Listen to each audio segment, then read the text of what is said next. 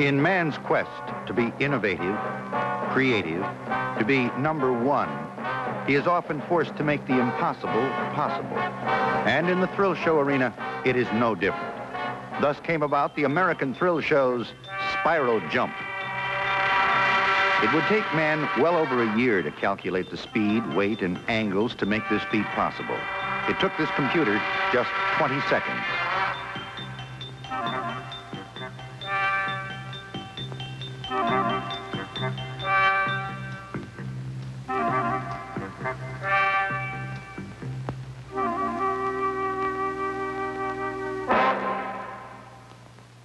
With the ramp constructed, it was time to head for the test track and the first manned attempt.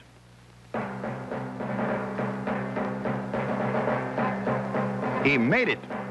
And now, in slow motion.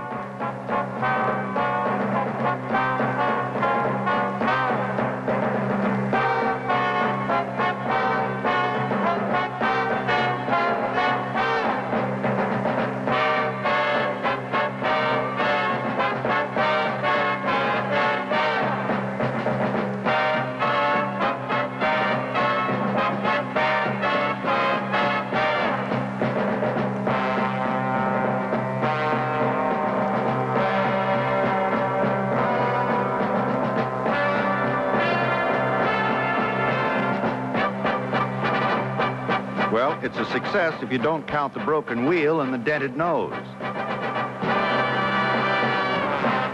After many more hours and a lot more sheet metal, the stunt was perfected. And so on to the Houston Astrodome for the first live performance before a standing room only crowd.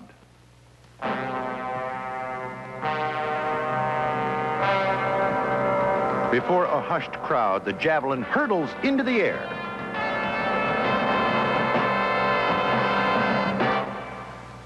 That's one happy driver that receives congratulations and a standing ovation.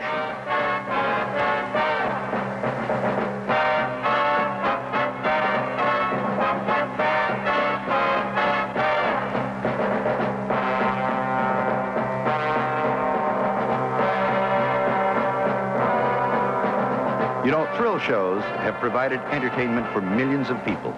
But the Astro Spiral Jump has got to be the epitome of what a thrill show is all about.